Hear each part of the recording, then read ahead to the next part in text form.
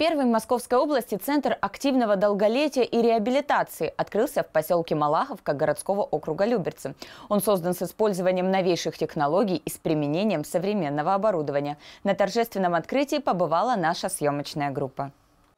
Пять специализированных отделений, два новейших корпуса, 70 просторных комнат, 14 комфортабельных апартаментов. А еще круглосуточное медицинское обслуживание, пятиразовое качественное питание, отлично оборудованные комнаты для игр, досуга и занятий спортом и целый штат высококвалифицированных специалистов. Центр гериатрического ухода и реабилитации «Малаховка» готов принять посетителей и сделать их пребывание здесь максимально приятным. Он построен с учетом мировых технологий, учтены все возможные э, гериатрические синдромы, беспороговая среда везде и всюду.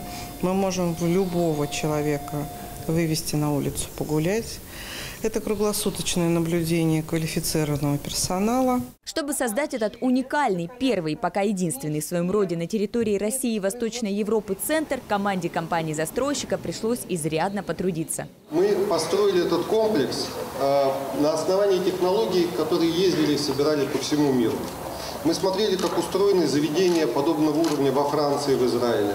Мы смотрели, как работают наши итальянские коллеги и коллеги из Канады. В России, поскольку такого еще не строилось, соответственно, архитекторы вообще не понимают, что это такое. Мы поняли, что надо сначала архитекторов свозить и показать, как там это делают, показать это все, чтобы привести к нам. Глядя на результат проделанной работы, можно сказать, у них все получилось. И вот 8 июня, в День социального работника, состоялось торжественное открытие Центра активного долголетия «Малаховка». Мероприятие посетил глава городского округа Люберцы Владимир Ужицкий. В режиме прямого включения в рамках второго Всероссийского форума социальных инноваций вместе с председателем Совета Федерации России Валентиной Матвиенко он дал официальный старт началу работы учреждения. И мы можем гордиться, потому что, как говорят специалисты, такой центр в России первый, и он нас Малахов.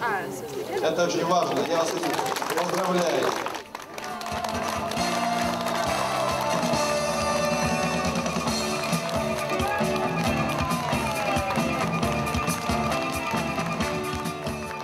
Несмотря на то, что официальное открытие центра состоялось 8 июня, первым днем его работы сотрудники Малаховки считают 6 число. Ведь именно тогда к ним приехал первый посетитель – Степанида Афанасьевна Севрюкова. Работники центра сразу полюбили ее за добрый нрав и светлую энергетику. Семья Степаниды Афанасьевны часто навещает ее, но проведать пенсионерку приезжают не только родственники. Владимир Петрович приходил, поздравлял, принес цветы, Степаниде Афанасьевны конфеты принес. Мы сейчас, у нас второй завтрак в 11, мы решили чай с конфетами попить. В этом году у Степаниды Афанасьевны юбилей – 100 лет. Сотрудники центра готовятся с размахом отметить это событие. Здесь каждый день пенсионерки наполнен интересными и полезными занятиями, прогулками на свежем воздухе и приятным общением. Есть такое понятие, как бытовой тренинг. Для того, чтобы там Степанида Афанасьевна не забывала, не забывайте, 99 лет, да, а, мы с ней делаем делаем зарядку, ну, по мере возможности, да, э, то есть э, мы делаем весь спектр тех э, упражнений, в смысле, как сказать, тех работ, что ли, ну, как правильно выразиться, чтобы она, ну, не забывала. Это мы делаем исключительно для того, чтобы, опять, еще раз повторяю, с моей с психологической точки зрения, чтобы ее память сохранялась. Степанида Афанасьевна пока единственный посетитель Центра активного долголетия «Малаховка». Но уже к концу этого года ожидается стопроцентная заполняемость всего комплекса. Мария Лапычева, Дмитрий Родзянко и Кирилл Евгеньев, телеканал ЛРТ.